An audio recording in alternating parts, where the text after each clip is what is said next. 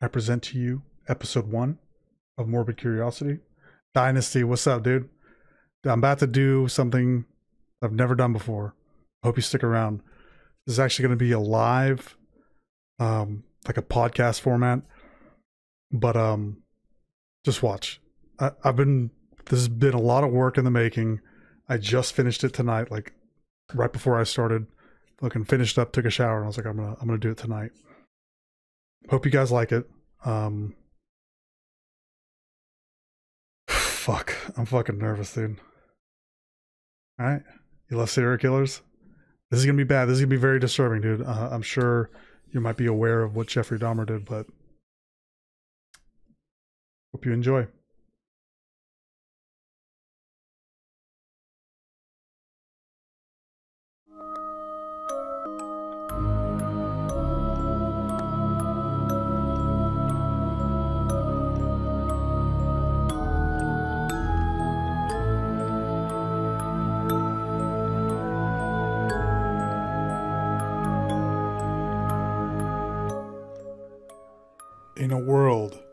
Where humans strive to reach new amazing heights, we're countered by our villainously new lows. Violence, death, and despair run rampant. Our fascination with outlandish and gruesome events borders on obsessive. And now, we succumb to our addiction.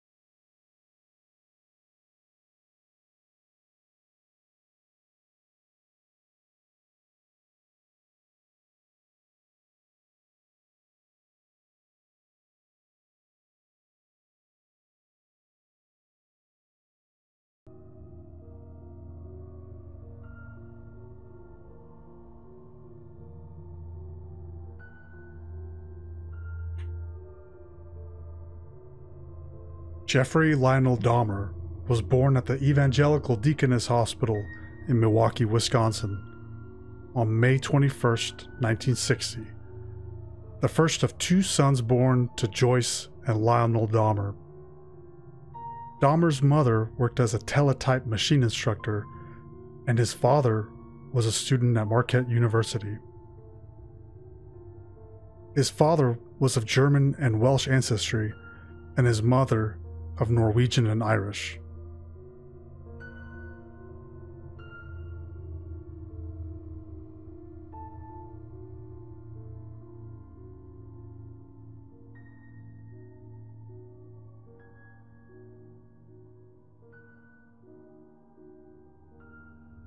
It has been claimed that Dahmer was deprived of attention as an infant.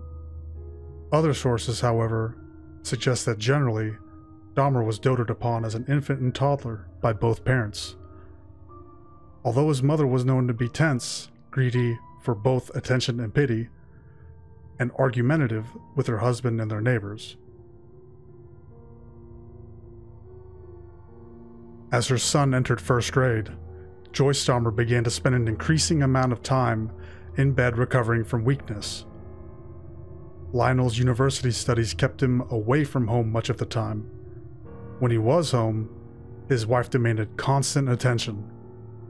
She reportedly worked herself into a state of anxiety over trivial matters simply to appease her husband.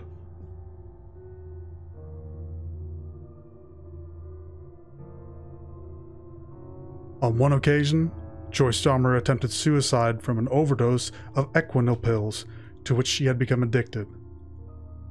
Consequently, neither parent devoted much time to their son.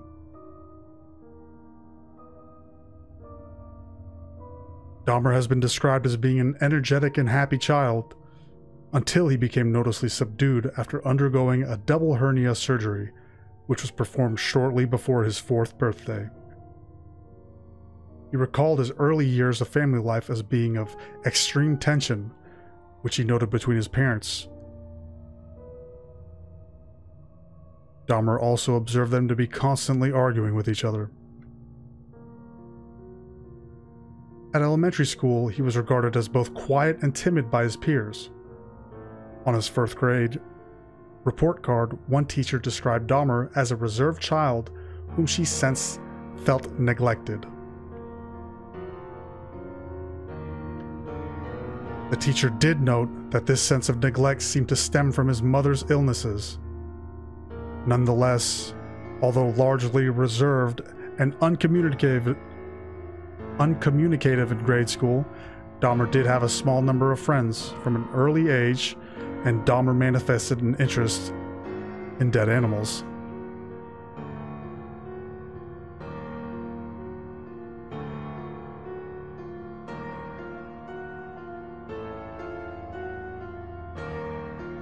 Friends later recalled Dahmer initially collected large insects, such as dragonflies and butterflies, which he placed inside jars. Later, he collected animal carcasses from the roadside.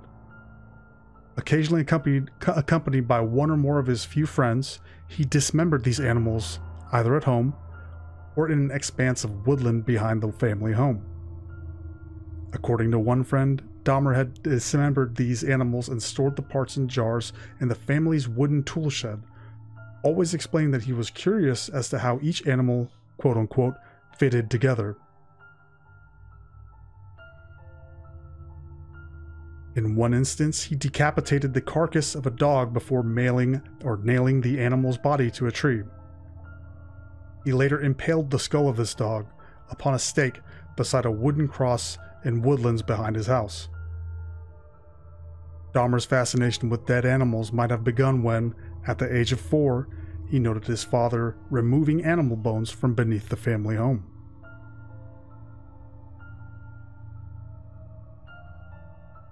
According to Lionel Dahmer, his son was quote unquote oddly thrilled by the sound of the, the by the sound the bones made, and instantly developed a fixation for playing with and collecting animal bones.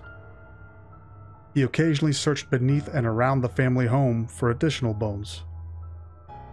With live animals, he explored their bodies to discover where their bones were located.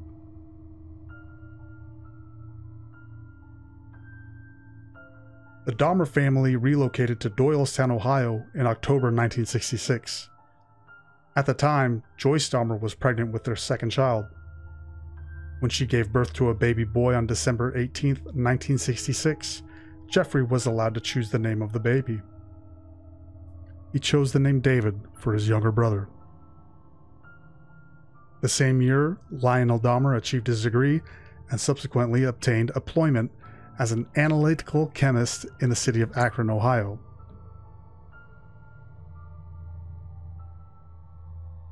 In 1968, the Dahmer family relocated to Bath, Ohio. Two years later, over a family meal of chicken, Dahmer asked his father what would happen if the bones of the chicken were to be placed in a bleach solution.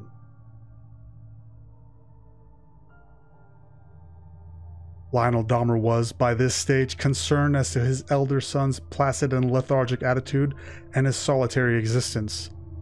Therefore, he was delighted at the initiative displayed by his son towards what he believed to be a scientific curiosity. He willingly demonstrated to his son how to safely bleach and later preserve animal bones. Dahmer used this knowledge regarding the cleansing and preserving of bones on many of the animal, animal remains which he continued to avidly collect.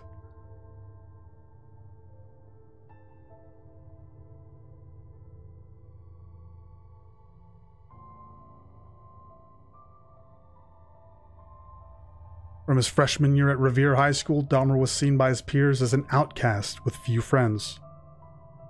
Many of Dahmer's classmates later recollected being disturbed by the fact that he drank both beer and hard alcohol, which he smuggled into school inside the lining of his army fatigue jacket, and concealed in his locker.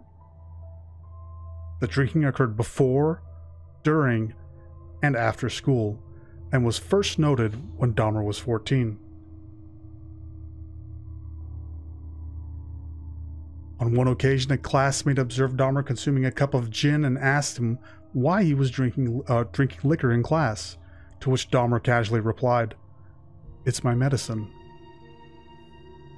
In his freshman year at Revere High School, Dahmer, although largely uncom- uncommunicative, was observed by staff to be a polite student who was known to be highly intelligent. He initially achieved only average grades, which staff attributed to his apathy. He was also known to have been a keen tennis player and to have briefly played in the high school band. When he reached puberty, Dahmer discovered he was gay. He did not divulge his sexual orientation to his parents. In his early teens, he did engage in a brief relationship with another youth, although the pair never had intercourse. By his later admission, he began sexually fantasizing about dominating and controlling a completely submissive male partner. These fantasies gradually became intertwined with dissection. On one occasion, when he was approximately 16 years old, Dahmer conceived a rape fantasy of rendering unconscious a particular male jogger he found attractive, and then making sexual use of his unconscious body.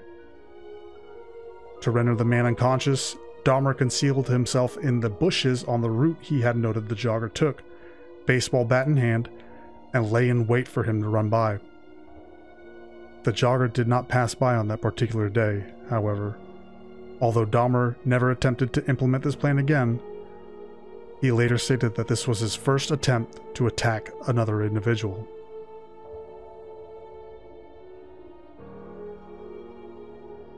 Despite being regarded as a loner and an oddball among his peers at Revere High School, Dahmer became something of a class clown among some of the students due to the pranks he regularly staged, some of which were done to amuse his classmates, others, apparently, to simply attract attention. These pranks became known as doing a Dahmer and included bleeding, simulating epileptic seizures or cerebral, cerebral palsy, and knocking over items at school and at local stores. By 1977, Dahmer's grades had declined, owing to his alcohol abuse and his continuing apathy towards academic and social interactions. His parents hired a private tutor for their son, but the tutor only had limited success. The same year, Dahmer's parents attended counseling sessions to try to resolve personal differences and thus save their marriage. This counseling was ultimately unsuccessful, and they decided to divorce. Although initially on amicable grounds, both of the Dahmer's parents began to quarrel frequently in the presence of their sons, and in early 1978, Lionel Dahmer moved out of the house. In May 1978, Dahmer graduated from high school. A few weeks before his graduation, one of his teachers observed Dahmer sitting close to the school parking lot, drinking several cans of beer. When the teacher threatened to report the matter, Dahmer informed him that he was experiencing quote unquote a lot of problems at home and that the school's guidance counselor was aware of them. Shortly after this incident, Joyce was awarded custody of her younger son and vacated the family residence, moving in with family members of hers. Dahmer, having just turned 18, was legally an adult and therefore not subject to court custodial considerations.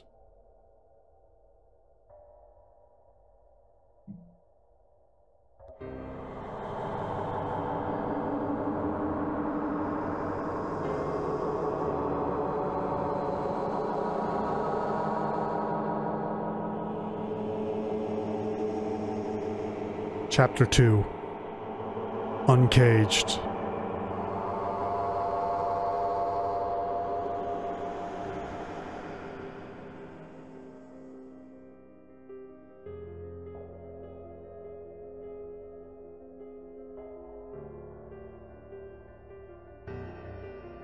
Dahmer committed his first murder in the summer of 1978 at the age of 18, just three weeks after his graduation.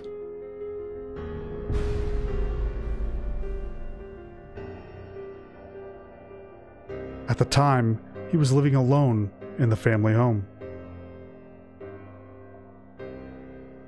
Owing to his recent divorce from Dahmer's mother, Dahmer's father temporarily, temporarily lived in a nearby motel, and his mother had relocated to Chippewa Falls, Wisconsin. On June 18th, Dahmer picked up a hitchhiker by the name of Stephen Mark Hicks, who was four days shy of his 19th birthday. Dahmer lured the youth to his house on the pretext of the two men, two young men drinking alcohol together. Hicks, who had been hitchhiking to a rock concert in Lockwood Corners, agreed to accompany Dahmer to his house. According to Dahmer, after several hours drinking and listening to music, Hicks wanted to leave, and I didn't want him to.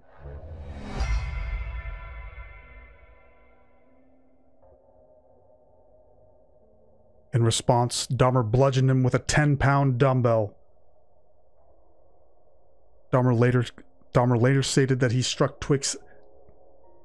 Dahmer later stated that he struck Hicks twice from behind with a dumbbell as Hicks sat upon a chair. When Hicks fell unconscious, Dahmer strangled him to death with the bar of the dumbbell, then stripped the clothes from Hicks's body before masturbating as he stood above the corpse. The following day, Dahmer dissected Hicks's body in the basement, and he later buried the remains in a shallow grave in his backyard.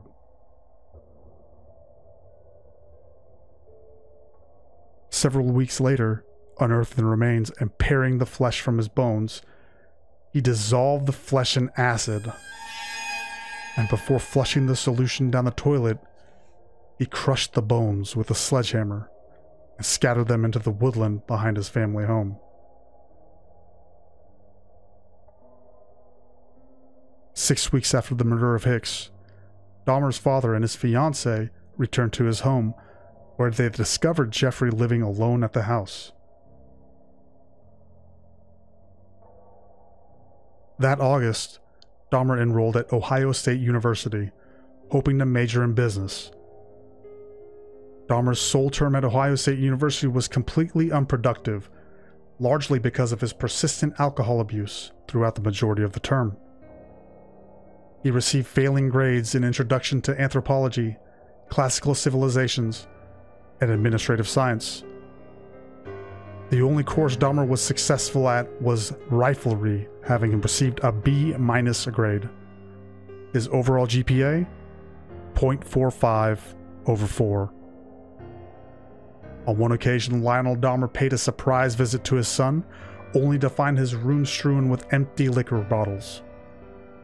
Despite his father having paid in advance for the second term, Dahmer dropped out of university after just three months. In January 1979, on his father's urging, Dahmer enlisted in the U.S. Army, where he trained as a medical specialist at Fort Sam Houston in San Antonio, Texas. On July 13, 1979, he was stationed in Baumholder, West Germany, where he served as a combat medic in the 2nd Battalion, 68th Armored Regiment, 8th Infantry Division. According to published reports, in Dahmer's first year of service, he was an quote unquote average or slightly above average soldier. Two soldiers attest to have been raped by Dahmer while in the army. One stated in 2010 that Dahmer had repeatedly raped him over a 17 month period while they were both stationed at Baumholder, while another soldier believes Dahmer drugged and raped him inside an armored personnel carrier in 1979. Owing to Dahmer's alcohol abuse, his performance deteriorated, and in March 1981, he was deemed unsuitable for military service, and he was later discharged from the army.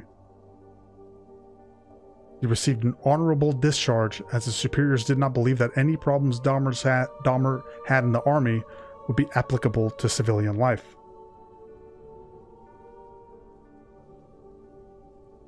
On March 24, 1981, Dahmer was sent to Fort Jackson, South Carolina, for debriefing and provided with a plane ticket to travel anywhere in the country.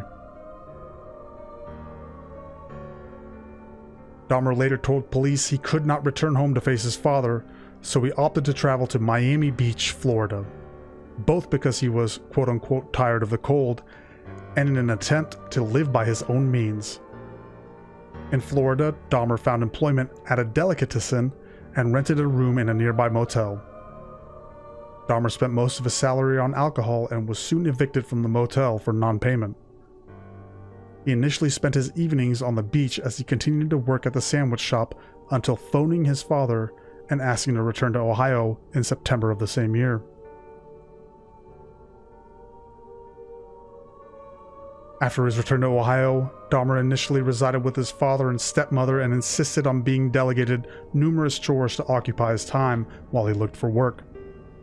He continued to drink heavily, and two weeks after his return, Dahmer was arrested for drunk and disorderly conduct, for which he was fined $60 and given a suspended 10 day jail sentence. Dahmer's father tried unsuccessfully to wean his son off alcohol. In December 1981, Dahmer's father and stepmother sent him to live with his grandmother in West Allis, Wisconsin. Dahmer's grandmother was the only family member to whom he displayed any affection. They hoped that her influence, plus the change of scenery, might inspire Dahmer to refrain from alcohol, find a job, and live responsibly. Initially, Dahmer's living arrangements with his grandmother were harmonious.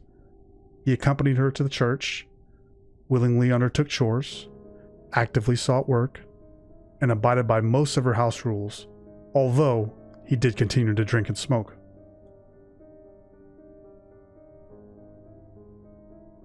This new influence in his life initially brought results, and in early 1982, Dahmer found employment as a phlebotomist at the Milwaukee Blood Plasma Center.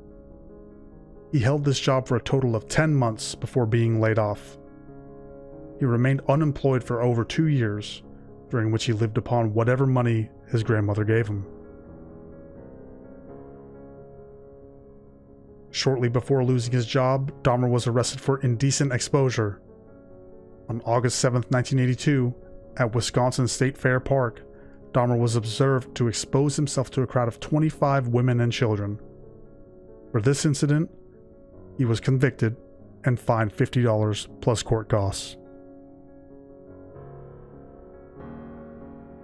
In January 1985, Dahmer was hired as a mixer at the Milwaukee Ambrosia Chocolate Factory, where he worked from 11 p.m. to 7 a.m., six nights per week with Sunday with Saturday evenings off.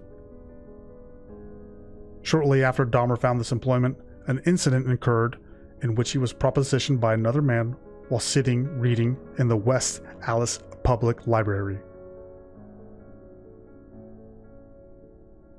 The stranger threw Dahmer a note offering to perform fellatio upon him. Although Dahmer did not respond to this proposition, the incident stirred in his mind the fantasies of control and dominance he had developed as a teenager, and he began to familiarize himself with Milwaukee's gay bars, bookstores, and gay bathhouses. He's also known to have stolen a male mannequin from a store, which he briefly used for sexual stimulation, until his grandmother discovered the item stowed in a closet and demanded that he discard it. By late 1985, he had begun to regularly frequent the Milwaukee bathhouses, which he later described as being quote unquote relaxing places. But during his sexual encounters, he became frustrated at his partners moving during the sexual act. Following his arrest, he stated, I trained myself to view people as objects of pleasure instead of people. For this reason, beginning in June 1986, he administered sleeping pills to his partners, giving them liquor laced with the sedatives, then raping their unconscious bodies. After approximately 12 such instances, the bathhouse's administration revoked Dahmer's membership, and he began to use hotel rooms to continue this practice.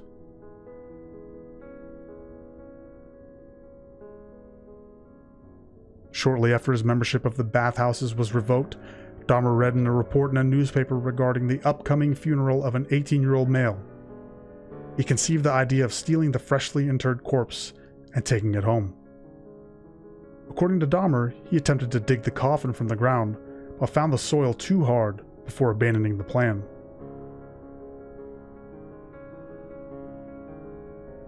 In August 1986, Dahmer was arrested for masturbating in front of two 12 year old boys as he stood close to the Kinnickinnic, Kinnickinnic River. Dahmer initially admitted the offense was and was again charged with indecent exposure, but quickly changed his story and claimed he had merely been urinating, unaware that there were witnesses. The charge was changed to disorderly conduct, and on March 10, 1987, Dahmer was sentenced to one year probation with additional instructions he was to undergo counseling.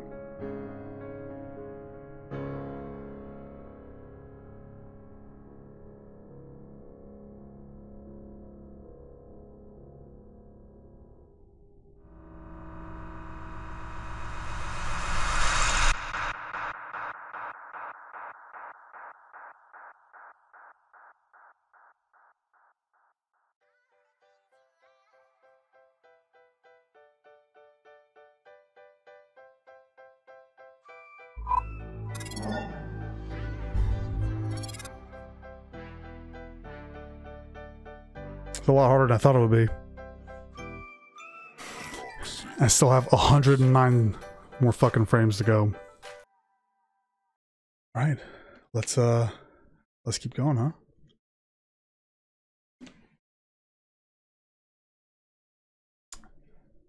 No bully hunter moments.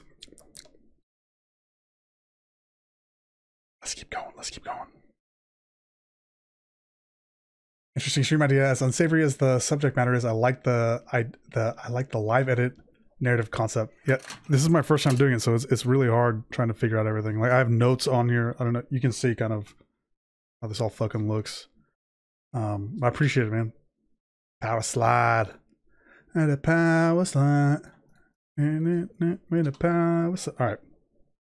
We need to stay with it. Here we go.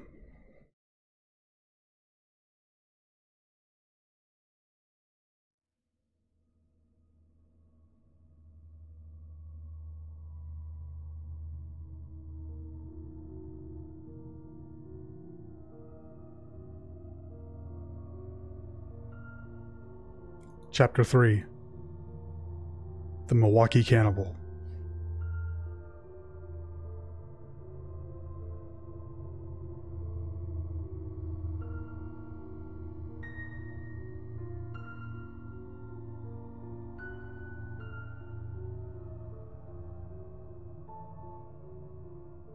On November 20th, 1987, Dahmer, at the time residing with his grandmother in West Allis, Wisconsin, encountered a 25 year old man from Ontonagon, Michigan, named Stephen Tuomi at a bar.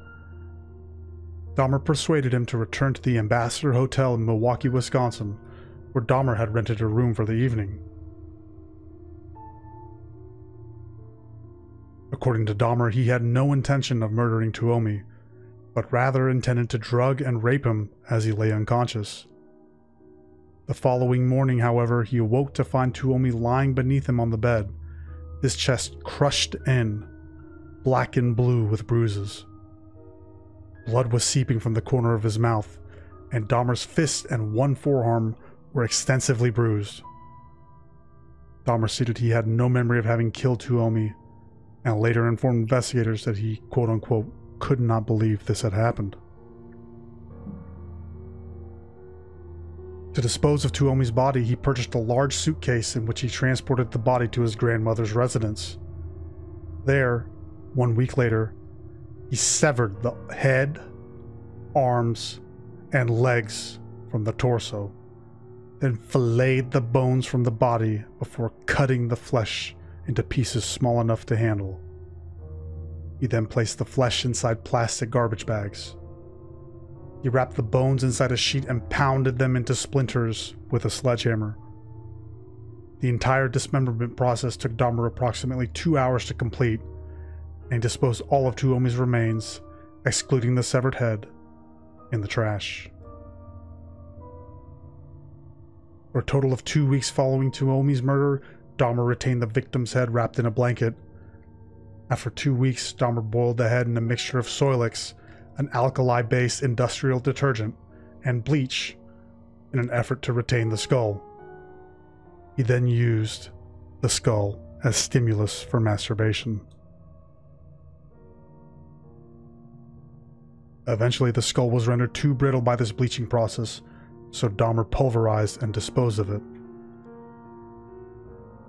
Following the murder of Tuomi, Dahmer began to actively seek victims, most of whom he encountered in or close to gay bars, and whom he typically lured to his grandmother's home.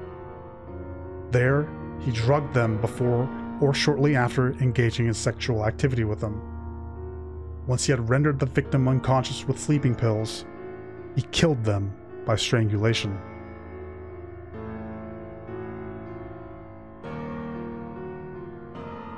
Two months after the murder of Steven Tuomi, Dahmer encountered a 14 year old Native American male prostitute named James Doxtator. Dahmer lured the youth to his home with an offer of $50 to pose for nude pictures. At Dahmer's West Allis residence, the pair engaged in sexual activity before Dahmer drugged Doxtator and strangled him on the floor of the cellar. Dahmer left the body in the cellar for one week before dismembering it in, the, in much the same manner as he had with Tuomi. He placed all of Doxtator's remains, excluding the skull, in the trash. He then boiled the skull and initially retained it before pulverizing it.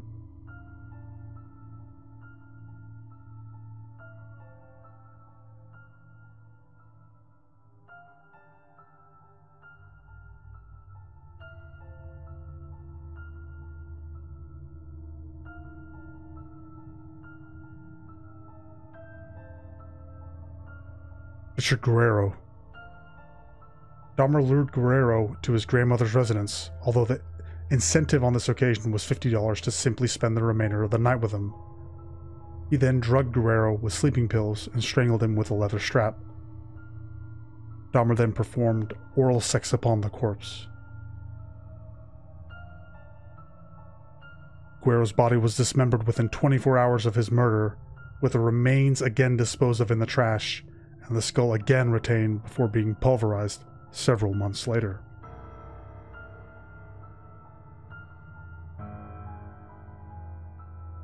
On April 23rd, Dahmer lured another young man to his house. However, after giving the victim a drugged coffee, both he and the victim heard Dahmer's grandmother call, Is that you, Jeff? Although Dahmer replied in a manner that led his grandmother to believe he was alone, his grandmother did observe that Dahmer was in fact not alone. Because of this, Dahmer opted not to kill this particular victim, instead waiting until he had become unconscious before taking him to the County General Hospital. In September 1988, Dahmer's grandmother asked him to move out of her house because of his habit of bringing young men to her house late at night and the foul smells emanating from both the basement and the garage. Dahmer found a one bedroom apartment on North 25th Street and moved into his new residence on September 25th. The following day, Dahmer was arrested for drugging and sexually fondling a 13 year old boy whom he had lured to his home on the pretext of posing for nude photographs. In January 1989, Dahmer was convicted of second degree sexual assault and of enticing a child for immoral purposes. Sentencing for the assault was suspended until May 1989. On March 20th, Dahmer commenced a 10 day Easter absence from work, during which he moved back into his grandmother's house. Two months after his conviction and two months prior to his sentencing for the sexual assault, Dahmer murdered his fifth victim. He was a mixed race, 24 year old aspiring model named Anthony Sears, whom Dahmer met at a gay bar on March, 5th, March 25th, 1989. According to Dahmer, on this particular occasion, he was not looking to commit a crime. However, shortly before closing time that evening, Sears, quote unquote, just started talking to me. Dahmer lured Sears to his grandmother's home, where the pair engaged in oral sex before Dahmer drugged and strangled Sears. The following morning, Dahmer placed the corpse in his grandmother's bathtub where he decapitated the body before attempting to flay the corpse.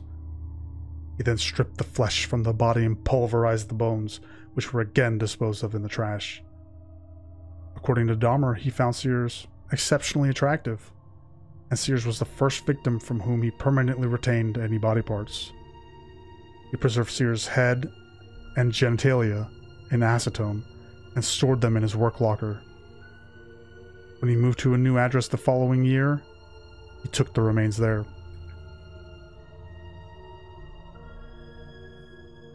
On May 23, 1989, Dahmer was sentenced to five years probation and one year in the House of Correction, with work release permitted in order that he be able to keep his job. He was also required to register as a sex offender.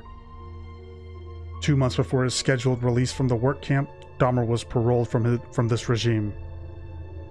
His five years probation imposed in 1989 began at this point. On release, Dahmer temporarily moved back to his grandmother's home in West Allis before, in May 1990, moving into the Oxford Apartments located on North 25th Street in Milwaukee. Although located in a high crime area, the apartment was close to his workplace, was furnished, and at $300 per month, inclusive of all bills excluding electricity.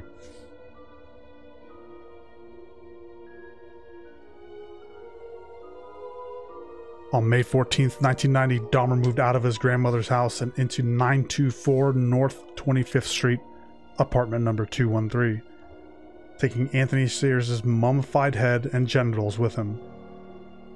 Within one week of moving into his new apartment, Dahmer had killed his sixth victim, Raymond Smith.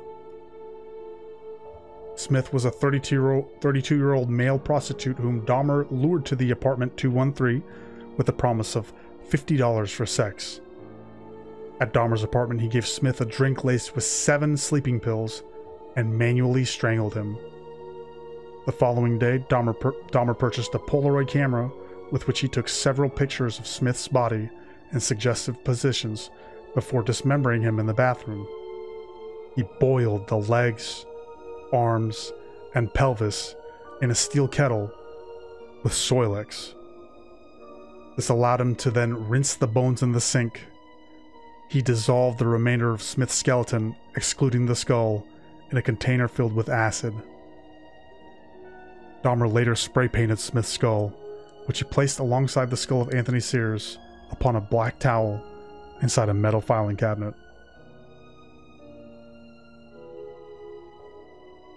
Approximately one week after the murder of Raymond Smith, on or about May 27, Dahmer lured another young man to his apartment. On this occasion, however, Dahmer himself accidentally consumed the drink laden with sedatives. When he awoke the following day, he discovered his intended victim had stolen several of his items $300, items of clothing, and a watch. Dahmer never reported this incident to the police, although on May 29th, he divulged to his probation officer that he had been robbed. In June 1990, Dahmer lured a 27 year old acquaintance named Edward Smith to his apartment. He drugged and strangled Smith. On this occasion, rather than immediately acidifying the skeleton or repeating previous processes of bleaching, which had rendered previous victims, victims' skulls brittle, Dahmer placed Smith's skeleton in his freezer for several months in the hope that it would not retain moisture. Freezing the skeleton did not remove moisture, and the skeleton of this victim would be acidified several months later. Dahmer accidentally destroy- destroyed the skull when he placed it on the oven to dry, a process that caused the skull to explode. Dahmer himself was later would Dahmer himself was to later inform police that he had felt rotten about Smith's murder as he had been unable to retain any parts of his body. Less than three months after the murder of Smith, Dahmer encountered a 22 year old Chicago native named Ernest Miller on the corner of North 27th Street. Miller agreed to accompany Dahmer to his apartment for $50 and further allowed him to listen to his heart and stomach. When Dahmer attempted to perform oral sex upon Miller, he was informed, That'll cost you extra. Whereupon Dahmer gave his intended victim a drink laced with two sleeping pills. On this occasion, he had only two sleeping pills to give his victim. Therefore, he killed Miller by slashing his carotid artery with the same knife he used to dissect his victims' bodies. Miller bled to death within minutes. Dahmer then posed the nude body for various suggestive Polaroid photographs before placing the body in his bathtub for dismemberment. Dahmer repeatedly kissed and talked to the severed head while he dismembered the, re- while he dismembered the remainder of the body. He wrapped Miller's heart, biceps, and portions of flesh from the legs in plastic bags and and portions of flesh from the legs in plastic bags and placed them in the fridge for later consumption. Dahmer boiled the remaining flesh and organs into a jelly-like substance, quote unquote, using Soilex, which again enabled him to rinse the flesh rinse the flesh off the skeleton. To, pre- to preserve the skeleton, he placed the bones in a light bleach solution for 24 hours before allowing them to dry upon a cloth for one week.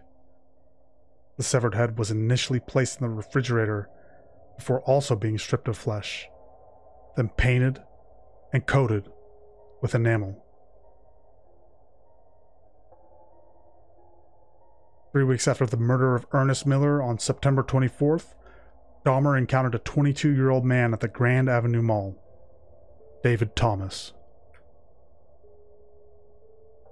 Dahmer persuaded him to return to his apartment for a few drinks with additional money on offer if he would if he would pose for photographs. In his statement to police after his arrest, Dahmer stated that after giving Thomas a drink laden with sedatives, he did not feel attracted to him, but was afraid to allow him to awaken in case he would be angry over having been drugged. Therefore, he strangled him and dismembered his body, intentionally retaining no body parts whatsoever. He photographed the dismemberment process and retained those photographs, which later aided in Thomas's subsequent identification. Following the murder of David Thomas, Dahmer did not kill anyone for almost five months although on minimum of five occasions between October 1990 and February 1991, he unsuccessfully attempted to lure men to his apartment. He's also known to have regu- regularly complained of feelings of both anxiety, depression, and to his probation officer throughout 1990, with frequent references to his sexuality, his solitary lifestyle, and financial difficulties, on several occasions, he is also known to have referred to harboring suicidal thoughts.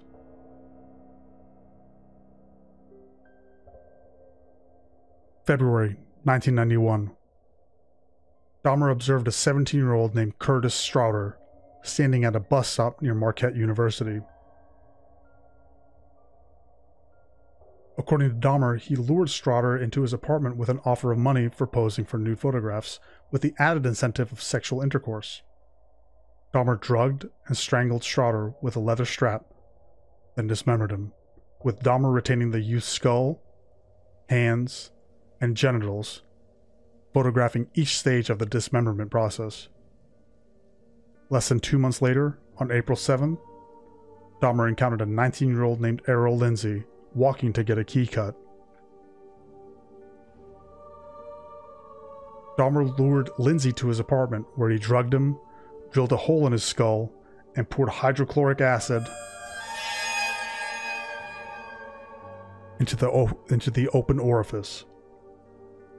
According to Dahmer, Lindsey awoke after this experiment, which Dahmer conceived in the hopes of inducing a permanent, unresistive, submissive state, saying, I have a headache. What time is it? By 1991, fellow residents of the Oxford apartments had repeatedly complained to the manager of the Oxford apartments, Sopa Princewill, of the foul smells emanating from apartment 213. In addition, the sounds of falling objects and occasional sound of a chainsaw disturbed neighbors. Princewill did contact Dahmer in response, in response to these complaints on several occasions, although Dahmer initially excused the odors emanating from his apartment as being caused by his freezer breaking, causing the contents to become quote unquote spoiled. On later occasions, he informed Princewill that the reason for the resurgence of the odor was that several of his tropical fish had recently died and that he would take care of the matter.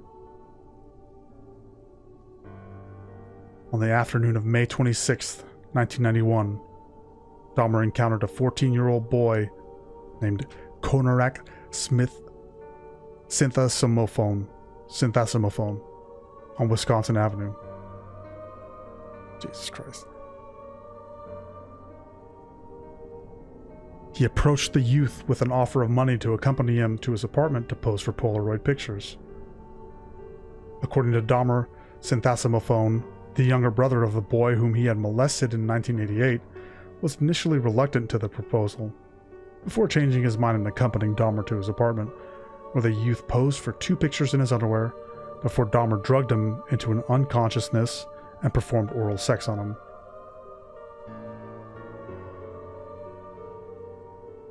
On this occasion, Dahmer drilled a single hole into Sinthasomphone's skull, through which he injected hydrochloric acid into the frontal lobe.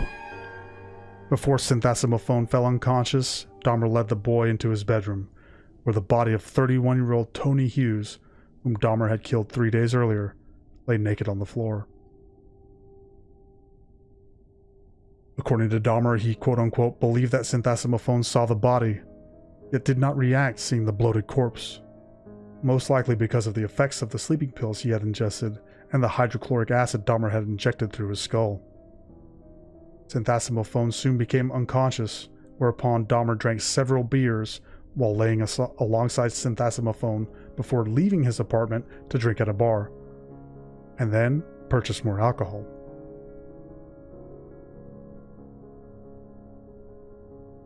In the early morning hours of May 27th, Dahmer returned towards his apartment to discover Sinthasomphone sitting outside naked on the corner of 25th and State, talking in Lao with three distressed young women standing near him. Dahmer approached the trio and explained to the women that Sinthasomphone, whom he referred to by an alias, was his friend, and attempted to lead him to his apartment by the arm. The three women dissuaded Dahmer, explaining that they had phoned 911.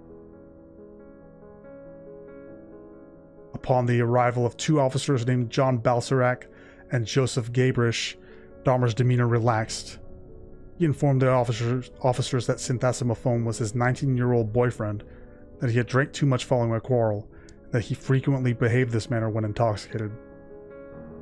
The three women were exasperated, and when one of the trio attempted to indicate to one of the officers that Sinthasomphone was bleeding from the buttocks, and that he had been that he had seemingly struggled against Dahmer's attempts to walk him out to his apartment, the officer harshly informed her to butt out, shut the hell up, and to not interfere, and that the incident was quote unquote domestic. Against the protests of the three women, the officer simply covered Sinthasomphone with a towel and walked him to Dahmer's apartment, where, in an effort to verify his claim that he and Sinthasomphone were lovers, Dahmer showed the officers the two semi nude Polaroid pictures that he had taken of the youth the previous evening. The officers later reported having noted a strange scent reminiscent of excrement inside of the apartment. The odor emanated from the decomposing body of Hughes. Dahmer stated that to investigate this, one officer simply peeked his head in the, inside the bedroom, and, but didn't really look around. The officers then left, with a departing remark that Dahmer take good care of Sinthasomphone.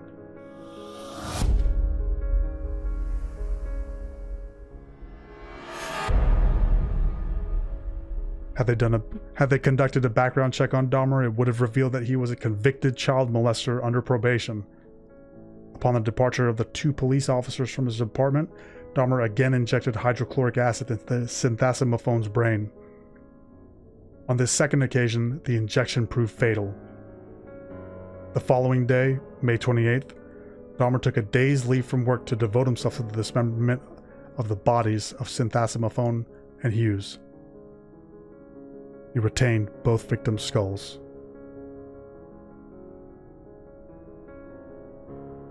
On June 30th, Dahmer traveled to Chicago, where he encountered a 20 year old named Matt Turner at a bus station. Turner accepted Dahmer's offer to travel to Milwaukee for, for a promotional photo shoot. At Dahmer's apartment, Dahmer drugged, strangled, and dismembered Turner and placed his head and internal organs in separate plastic bags in the freezer. Turner was not reported missing. July 5th, five days later. Dahmer lured 23 year old Jeremiah Weinberger from a Chicago bar to his apartment on the promise of spending the weekend with him. He drugged Weinberger and twice injected boiling water through his skull, sending him into a coma from which he died two days later. On July 15th, Dahmer encountered 24 year old Oliver Lacy at the corner of 27th and Kilbourn. Lacy agreed to Dahmer's ruse of posing nude for photographs and accompanied him to the apartment, where the pair engaged in tentative sexual activity before Dahmer drugged Lacy. On this occasion, Dahmer intended to prolong the time he spent with Lacy while alive. After unsuccessfully attempting to render Lacy unconscious with chloroform, he phoned his workplace to request a day's absent. absence. This was granted, although the next day he was suspended. After strangling Lacy, Dahmer had sex with the corpse before dismembering him. He placed Lacy's head and heart in the refrigerator and his skeleton in the freezer. Four days later, on July 19th, Dahmer received word that he was fired. Upon receipt of this news, Dahmer lured 25 year old Joseph Bradehoft to his apartment. Bradehoft was strangled and left lying on Dahmer's bed covered with a sheet for two days. On July 21st, Dahmer removed these sheets to find the head covered in maggots, whereupon he decapitated the body, cleaned the head, and placed it in the refrigerator. He later acidified Bradehoft's torso along with those of the other two victims killed within the previous month.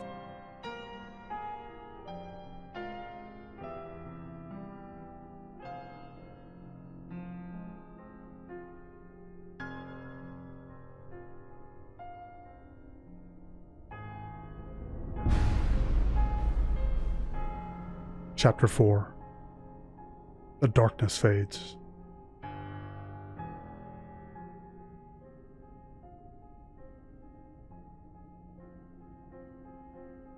On July 22, 1991, Dahmer approached three men with an offer of $100 to accompany him to his apartment to pose for nude photographs, drink beer, and simply keep him company. One of the trio, 32 year old Tracy Edwards, agreed to accompany him to his apartment.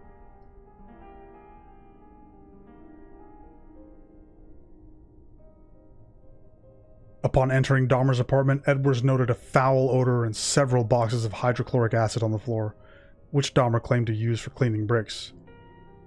After some minor conversation, Edwards responded to Dahmer's request to turn his head and view his tropical fish, whereupon Dahmer placed the handcuff upon his wrist. When Edwards asked what's happening, Dahmer unsuccessfully attempted to cuff his wrists together, then told Edwards to accompany him to the bedroom to pose for nude pictures. While inside the bedroom, Edwards noted nude male posters on the wall and that a videotape of The Exorcist 3 was playing. He also noted a blue 57 gallon drum in the corner, from which a strong odor emanated.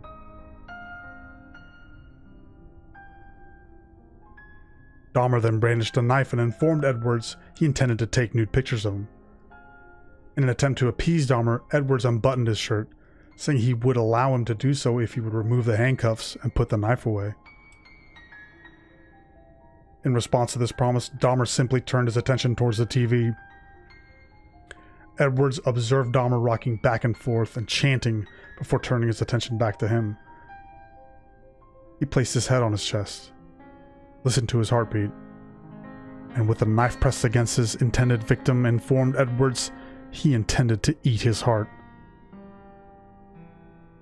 In continuous attempts to prevent Dahmer from attacking him, Edwards repeated that he was Dahmer's friend, that he was not going to run away.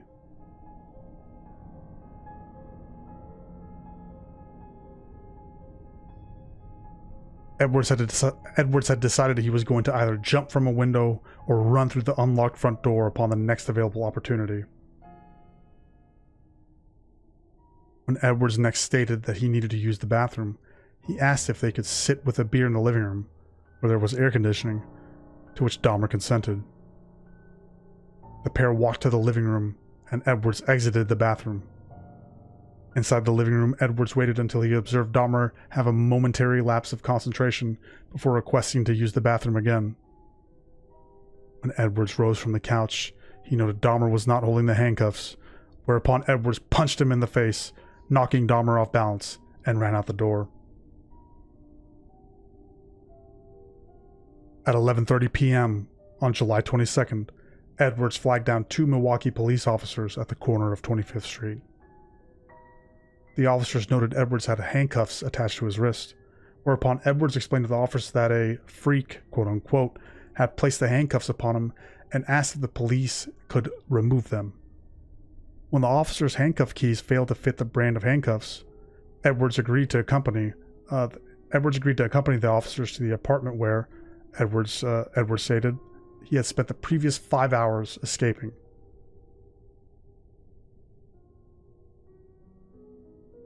When the officers arrived at apartment 213, Dahmer invited the trio inside and acknowledged he had indeed placed the handcuffs upon Edwards, although he offered no explanation as to why he had done so. At this point, Edwards divulged to the officers that Dahmer had also brandished a large knife upon him and that, he, and that this had happened in the bedroom. Dahmer made no comment to this revelation, indicating to one of the officers, Rolf Mueller, that the key to the handcuffs was in his bedside drawer in the bedroom. As Mueller entered the bedroom, Dahmer attempted to pass Mueller to himself retrieve the key, whereupon the second officer present, Robert Rauth, informed him to back off.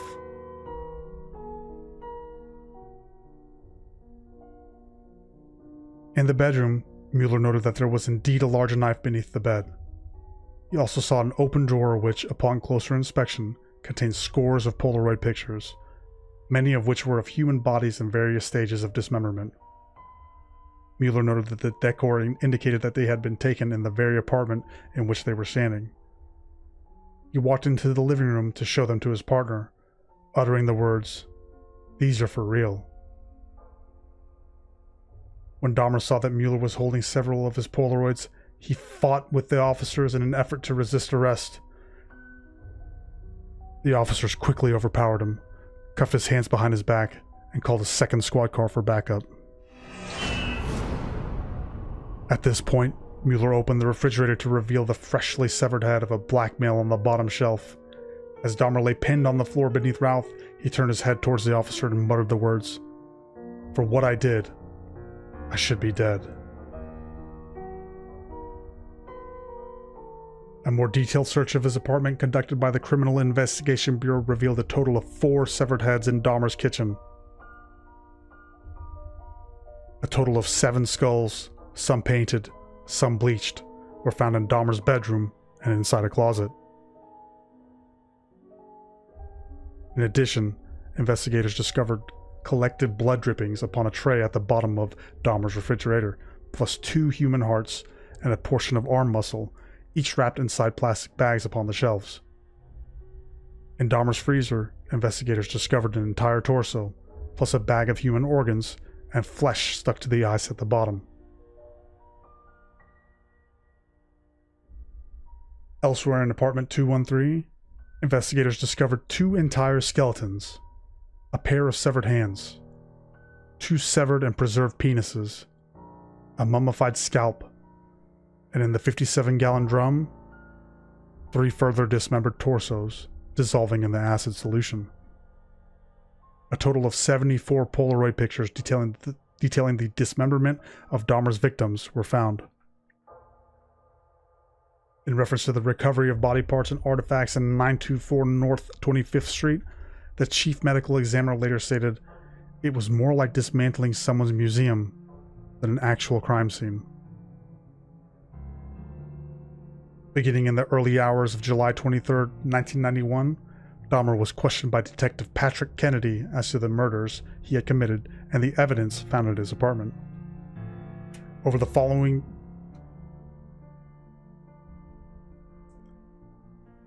Over the following two weeks, Kennedy and later Detective Patrick Murphy conducted numerous interviews with Dahmer, which, when combined, totaled over 60 hours. Dahmer waived his right to have a lawyer present throughout the interrogations, adding he wished to confess all he had, confess all as he had, quote unquote, I created this horror, and it only makes sense I do everything to put an end to it. He readily admitted to having murdered 16 young men in Wisconsin since 1987, and one further victim, Stephen Hicks, killed in Ohio back in 1978.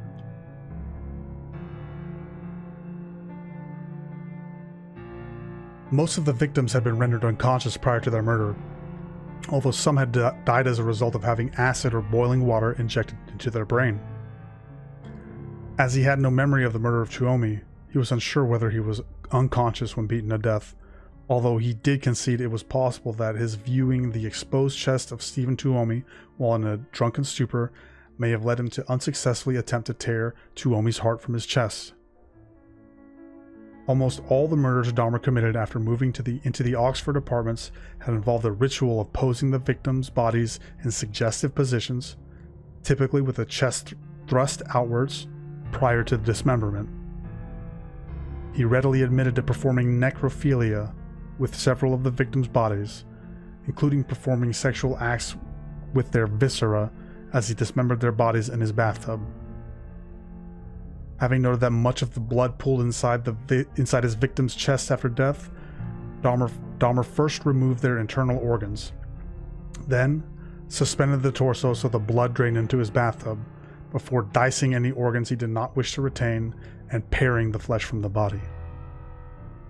The bones he wished to dispose of were pulverized or acidified, with Soilex and bleach solutions used to aid in the preservation of the skeletons and skulls he wished to keep.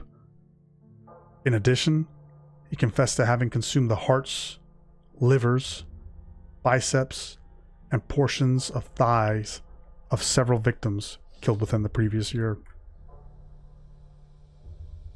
Describing the increase in his rate of killing in the two months prior to his arrest, he stated he had been completely swept along with his consum- co- consum- com- Jesus, his compulsion to kill, adding, "It was an incessant and never-ending desire to be with someone at whatever cost, someone good-looking, really nice-looking. Just filled my thoughts all day long." When asked as to why he had preserved a total of seven skulls and the entire skeletons of two victims, Dahmer stated he had been in the process of constructing a private altar of the victims' skulls, which he had intended to display on the black table located in his living room and upon which he had photographed the bodies of many of his victims. This display of skulls was to be adorned at each side with the complete skeletons of Ernest Miller and Oliver Lacy. The four severed heads found in his kitchen were to be removed of all flesh and used in this altar as was the skull of at least one future victim. Incense sticks were to be placed at each end of the black table, above which Dahmer intended to place a large blue lamp with extending blue globe lights. The entire construction was to be placed before a window covered with a black, opaque shower curtain, in front of which Dahmer intended to sit in a black leather chair. When asked in a November 18, 1991 interview who the altar was dedicated to, Dahmer replied, Myself. It was a place where I could feel at home. He further described his intended altar as a place for meditation, from where he believed he could draw a sense of power, adding, If this arrest had happened six months later, that's what would have been found.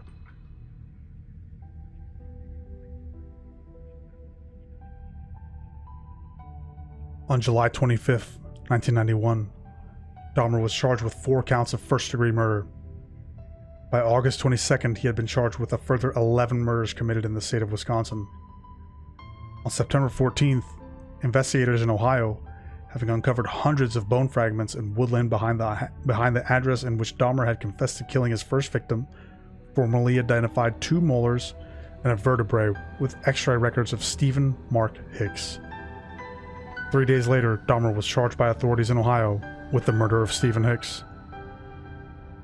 Dahmer was not charged with the attempted murder of Tracy Edwards, nor with the murder of Stephen Tuomi. He was not charged with Tuomi's murder because the Milwaukee County District Attorney only brought charges where murder could be proven beyond a reasonable doubt, and Dahmer had no memory of actually committing this particular murder, for which no physical evidence of the crime existed. At a scheduled preliminary hearing on January 13, 1992, Dahmer pleaded guilty, but insane, to 15 counts of murder.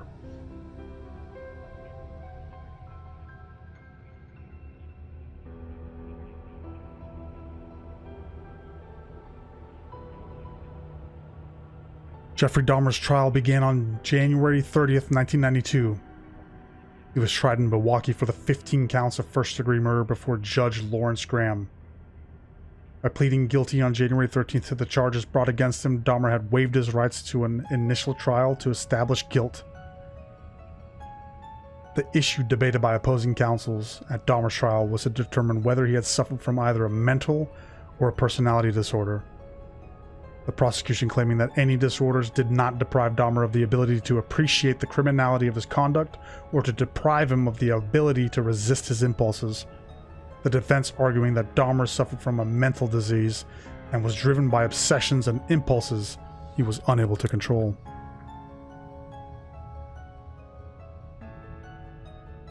Defense experts argued that Dahmer was insane due, to his necrophilic drive, his compulsion to have sexual intercourses with corpses.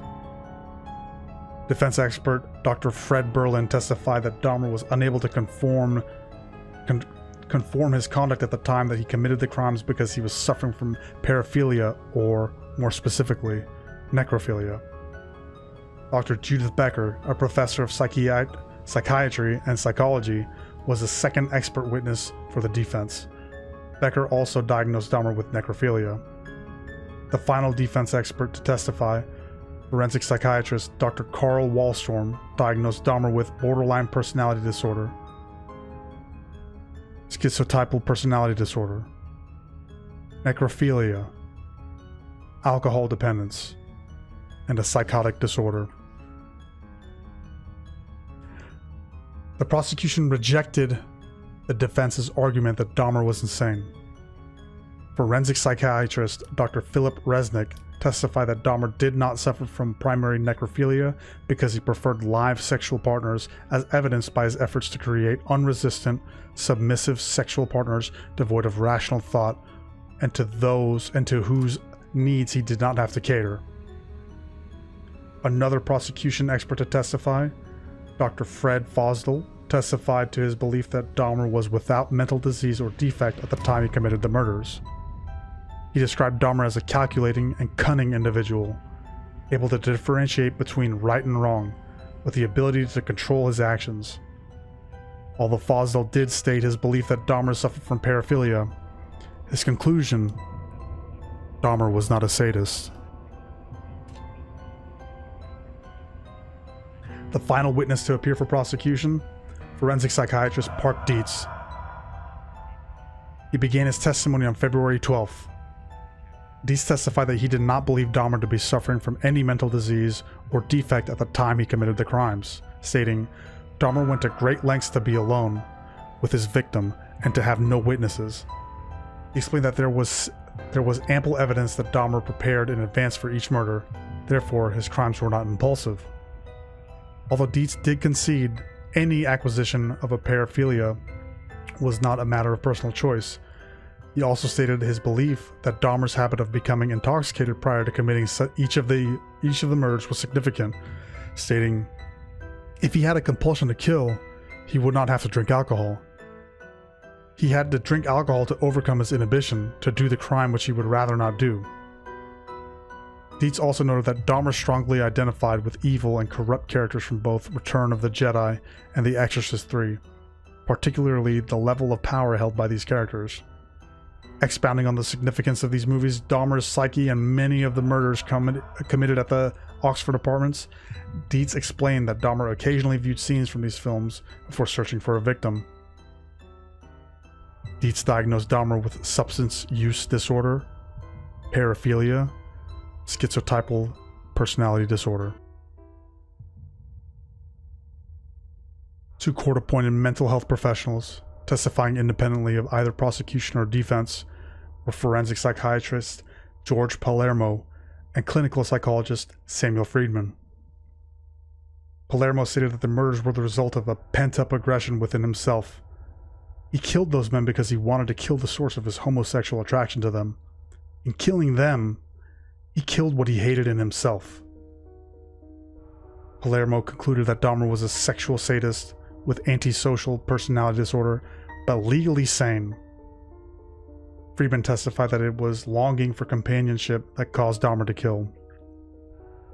He stated, Mr. Dahmer is not psychotic. He spoke kindly of Dahmer, describing him as a amiable, pleasant to be with, courteous, with a sense of humor, conventionally handsome, and charming in a manner. He was and still is a bright young man. He diagnosed Dahmer with a personality disorder not otherwise specified, featuring borderline, obsessive compulsive, and sadistic traits. The trial lasted two weeks. On February 14th, both counsels delivered their closing arguments to the jury. Each counsel was allowed to speak for two hours. Defense attorney Gerald Boyle argued first, repeatedly harking to the testimony of the mental health professionals, almost all of whom had agreed Dahmer was suffering from a mental illness. Boyle argued that Dahmer's compulsive killings have been a result of, quote unquote, a sickness he discovered, not chose. Boyle portrayed Dahmer as a desperately lonely and profoundly sick individual, so out of control he could not conform his conduct anymore.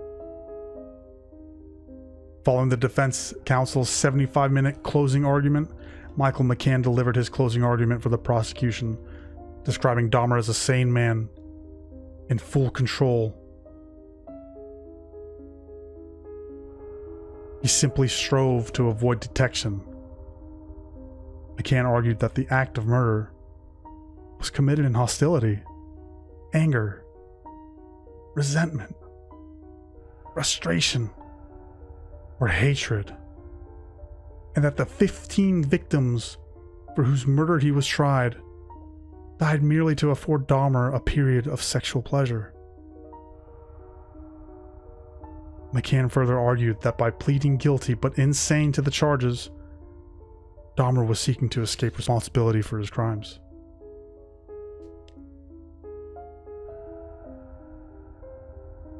On February 15th, the court reconvened to hear the verdict. Dahmer was ruled to be sane and not suffering from, from any mental, mental disorder at the time of each of the 50 murders for which he was tried. Although in each count, two of the 12 jurors sig- signified their dissent. On the first two counts, Dahmer was sentenced to life imprisonment plus 10 years. With the remaining 13 counts, a mandatory sentence of life imprisonment plus 70 years. The death penalty was not an option for Judge Graham to consider at the penalty phase, as the state of Wisconsin had abolished capital punishment in 1853.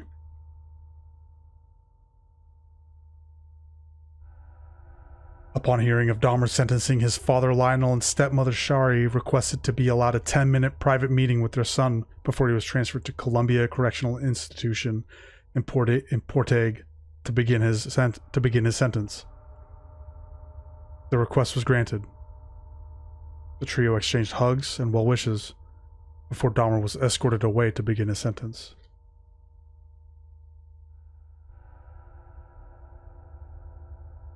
Three months after his conviction for 15 murders in Milwaukee, Dahmer was extradited to Ohio to be tried for the murder of his first victim, Stephen Hicks. In a court hearing lasting just 45 minutes, Dahmer again pleaded guilty to the charges and was sentenced to a 16th life term on May 1st, 1992.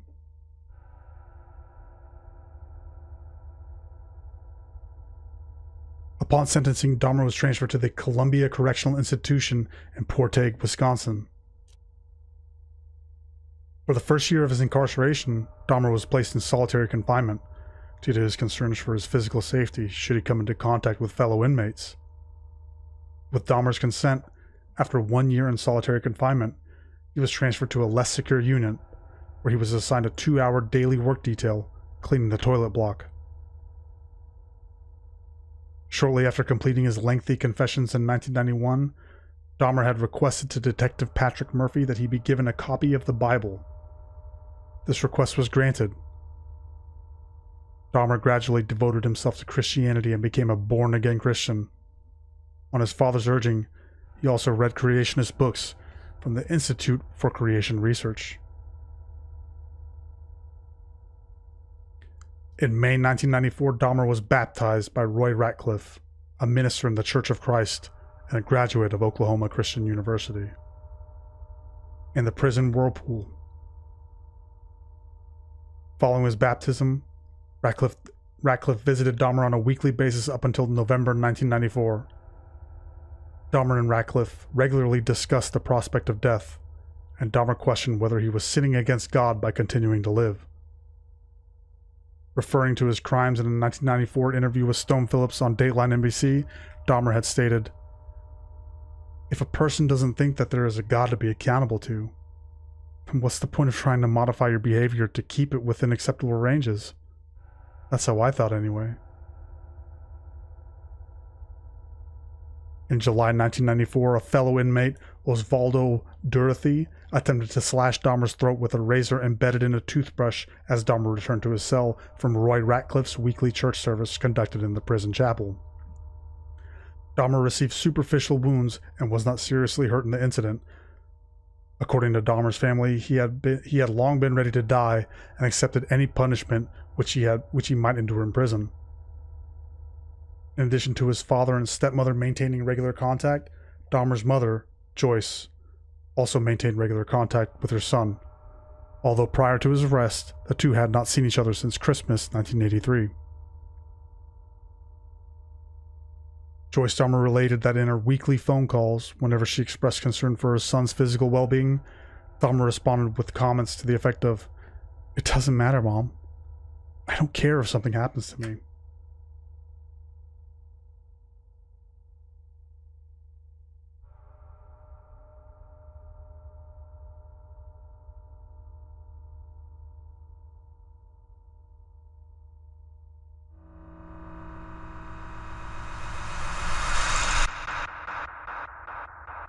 Chapter 5 Yin Yang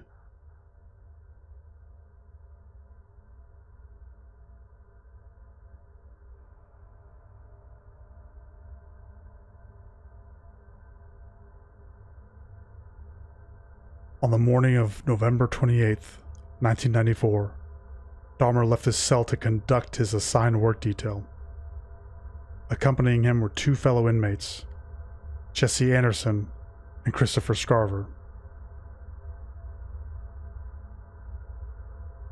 The trio was left unsupervised in the showers of the prison gym for approximately 20 minutes.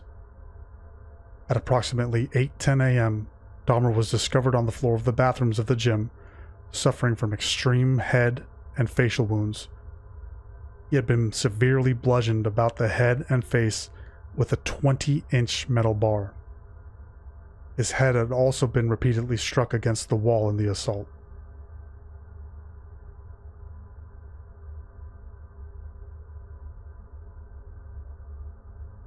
Although Dahmer was still alive and was rushed to a nearby hospital, one hour later, the Milwaukee cannibal was pronounced dead.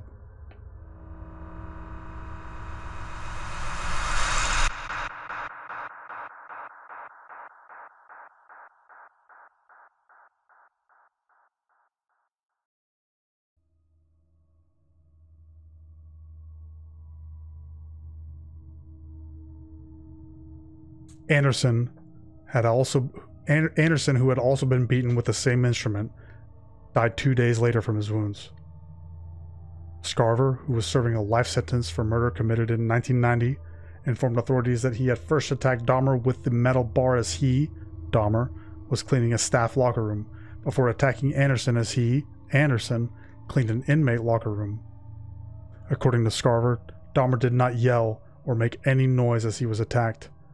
Immediately after attacking both men, Scarver, who was thought to be schizophrenic, returned to his cell and informed a prison guard. God told me to do it. Jesse Anderson and Jeffrey Dahmer are dead. Scarver was adamant he had not planned the attacks in advance. Although he later divulged to investigators he had concealed the 20 inch iron bar used to kill both men in his clothing shortly before the killings.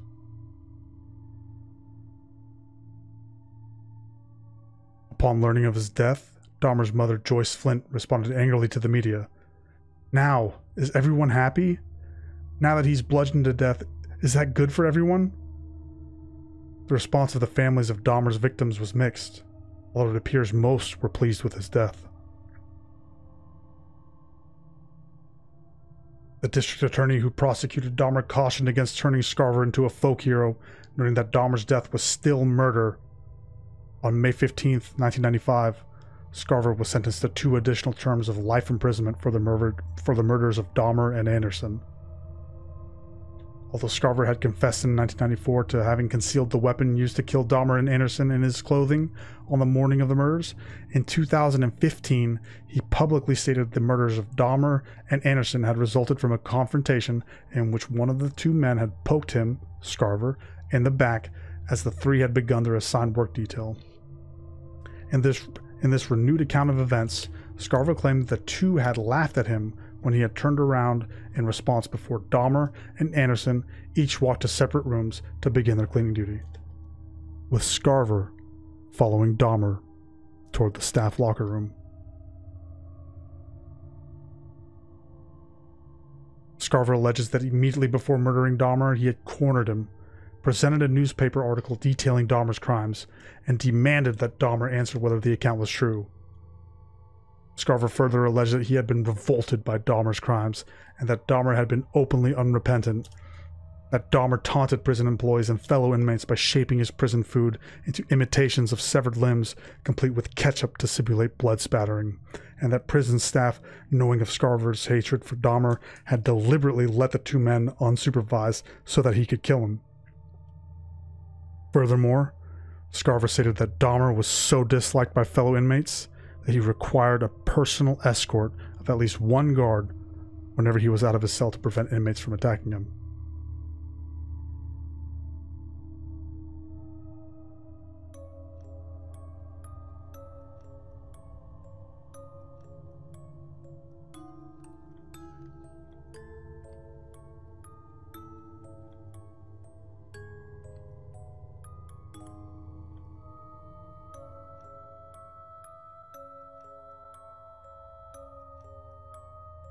Dahmer had stated in his will he wished for no services to be conducted, that he wished to be cremated. In September 1995, Dahmer's body was cremated, and the ashes divided between his parents. Dahmer's estate was awarded to the families of 11 of his victims who had sued for damages. Although victims' relatives stated the motivation was not greed, the announcement sparked controversy. A civic group, Milwaukee Civic Pride, was quickly established in an effort to raise the funds to purchase and destroy Dahmer's possessions. The group pledged over $400,000 for the purchase of Dahmer's estate. Five of the eight families represented by Jacobson agreed to the terms, and Dahmer's possessions were subsequently destroyed and buried in an undisclosed Illinois landfill. On August 5, 1991, a candlelight vigil was a candlelight vigil to celebrate and heal the Milwaukee community was attended by more than 400 people. Present at this vigil were community leaders, gay rights activists, and family members of several of Dahmer's victims. Organizers stated that the purpose of the vigil was to enable Milwaukeeans to quote unquote share their feelings of pain and anger over what happened. The Oxford Apartments at 924 North 25th Street where Dahmer had killed 12 of his victims, were demolished in November 1992. The site is now vacant. Alternate plans to convert the site into either memorial garden or playground, or to reconstruct the new housing, have failed to materialize. Lionel Dahmer is retired now, and lives with his second wife, Shari. Both have refused to change their surname, surname and have professed their love of Jeffrey in spite of his crimes. In 1994, Lionel published a book, A Father's Story, and donated a portion of the proceeds from his book to the victims' families. Most of the families showed support for Lionel and Shari, although three families subsequently sued Lionel for two three families subsequently sued Lionel Dahmer. Two for using their names in the book without obtaining prior consent, and a third family, that of Stephen Hicks, filing a wrongful death suit against Lionel Dahmer, Shari, and former wife, Joyce, citing parental negligence as the cause for the claim. Joyce Flint died of cancer in November 2000. Prior to her death, she'd attempted suicide on at least one more occasion. Jeffrey's younger brother, David, changed his surname and lives in anonymity.